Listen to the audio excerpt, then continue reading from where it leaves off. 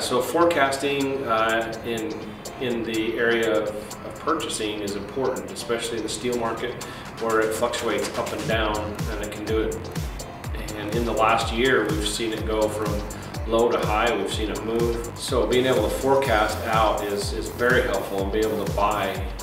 For us, we make better money buying inventory at a reasonable price than we would if we left the money in the bank and just followed the market. So for us, it's literally an investment. So being able to forecast is a very helpful tool.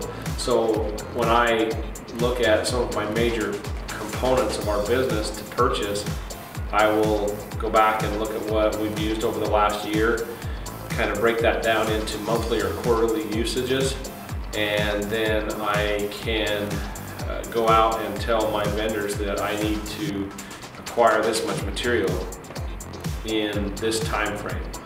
And that allows me better buying power, it allows me better pricing, it allows me to um, give my vendors an idea of you know, how serious I am about buying correctly and, and not just following the market and, and buying on the spot market. Our business is way too competitive to just buy on an as-need basis. And, and just-in-time delivery is not an option where we're located because there are no warehouses or service centers that, that stock the products that we need. So we have to be very careful about where we buy them and when.